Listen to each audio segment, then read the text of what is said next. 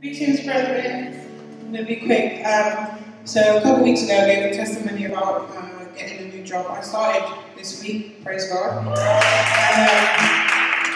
and yesterday, I had a reunion of um, this, went on the Workforce Academy last year.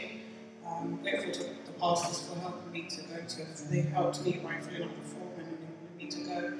And um, yesterday, I was speaking to one of the girls.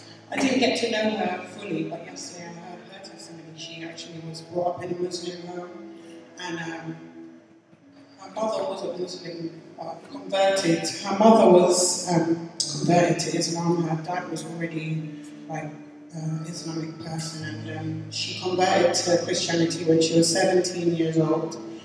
And um, when she told her family, her mum her dad said, You have to leave the house. Her mum said, No, my daughter's not leaving. So there was conflict. And she said she had to go to church in secret, and it was a hard time for her. And I, and, and I just had to say, Praise God, because we get to go church freely, we get to praise freely, but some people, they don't get to. So uh, she really inspired me because she, she's just really on fire for God, and she's just since the age of 17. And I said, Well, thank you, Lord, because sometimes we don't know how good we have it. But that just encouraged me and inspired me, so that's my testimony. Bless you. Thank you, Sadé. Yes, as you know, we've got at least women in the making here in the form of Sadé. Hallelujah. Amen.